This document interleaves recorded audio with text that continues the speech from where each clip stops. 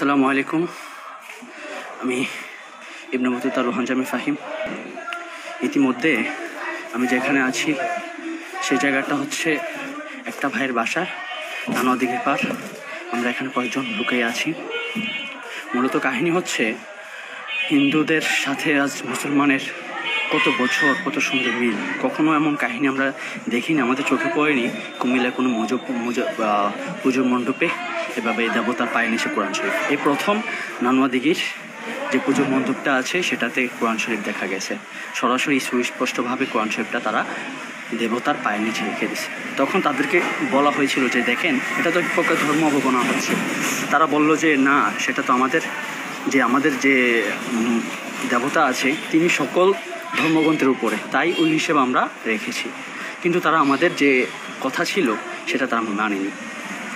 তারপর যে উৎসুক জনতা ছিল, তারা এক আওয়াজে সরাসরিভাবে তারা আন্দোলনে নেমে যায়। নেমে যাওয়ার পর সেখানে সকাল থেকেই পুলিশের গাড়ি ছিল পাঁচ ছয়টা তারা টহল দিচ্ছিল।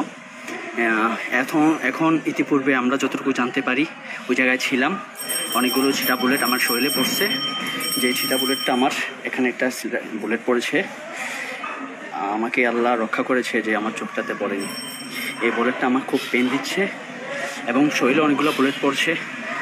আমরা এসেছি মূলত এটা সমাধান করার জন্য। আমরা হিন্দু ভাইদের সাথে কোনো মন মালিন্য নেই। আমাদের সাথে যতজন আছে, সবাই জানে আমরা কেমন। মুসলমান কখনো এমন হতে পারে না যে কোনো ধর্মের পুজোতে এত বড় একটা আয়োজনের মধ্যে আমরা ডিস্টার্ব করব। ধর্ম যার যার উৎসব তার তার। সেখানে আমরা গিয়ে যে আমরা তাদের উৎসব নষ্ট করব, তা আমাদের লক্ষ্য না। আমাদের কথা একটাই যে আপনারা অতি শীঘ্র এটা সরিয়ে নেন। যেহেতু কোরআন শরীফটা আছে, সেটা মুছে দিলেই শেষ হয়ে যায়, সমাধান হয়ে যায়। তারা সেই সমাধান করছে না। তারা বলতেছে যে তাদের পুজো শেষ হওয়ার পর সে কাজটা করবে। ইতিপূর্বে উচ্চ জনতারা আপনারা ভালো করে জানেন। ধর্ম বর্ণনায়, ধর্ম একটা আবেগের জায়গা। সেখানে কিছু করলে সাথে সাথে ইমোশন হয়ে যায়। মানুষ আর নিজেকে টিকিয়ে রাখতে পারে না। তখন মানুষ ভিতর দিয়ে যত কিছু আসে সব কিছু দিয়ে নেমে পড়ে সেটাকে প্রতিবাদ করার জন্য।